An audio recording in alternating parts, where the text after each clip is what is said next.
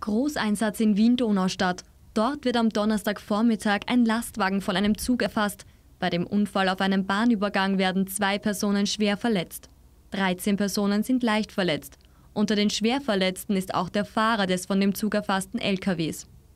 Der Unfall passiert laut ÖBB kurz vor 11 Uhr auf einer technisch nicht gesicherten Eisenbahnkreuzung. Der LKW-Fahrer dürfte den Regionalzug der Machegger Ostbahn übersehen haben. Daraufhin entgleisen die zwei Dieseltriebwagen. Die Opfer des Zugunglücks in Wien-Donaustadt werden von der Feuerwehr geborgen.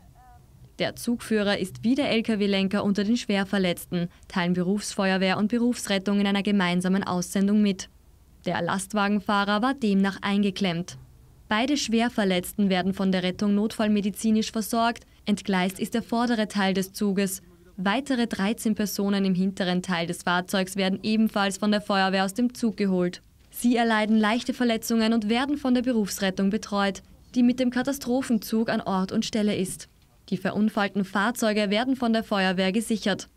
Die Sperre dürfte am späten Abend aufgehoben werden. Ein Schienenersatzverkehr ist eingerichtet.